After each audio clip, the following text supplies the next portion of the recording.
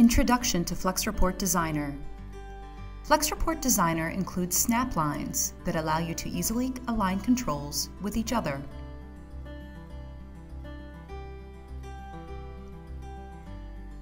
Sections can be collapsed or expanded to help reduce visual noise while you work.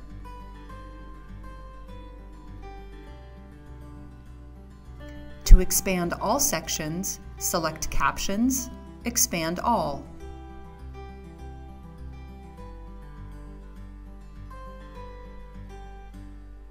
The Captions menu also allows you to show or hide section headers in the designer.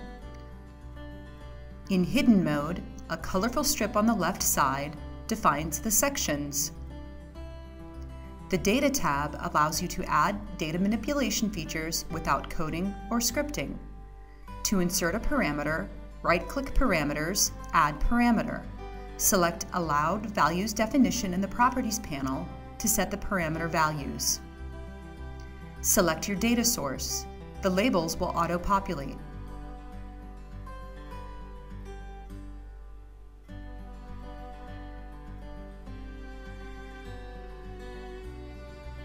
To insert a calculated field, right-click Calculated Fields in the Data tab.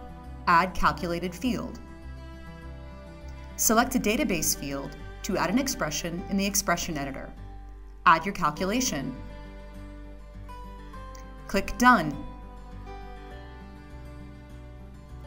To add a sort definition, right-click Sort Definitions and click Add Definition. Select your sort field and direction.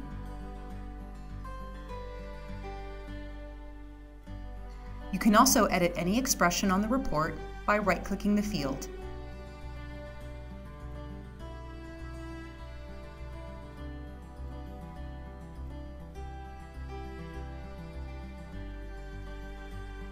Learn more at www.componentone.com slash flexreport.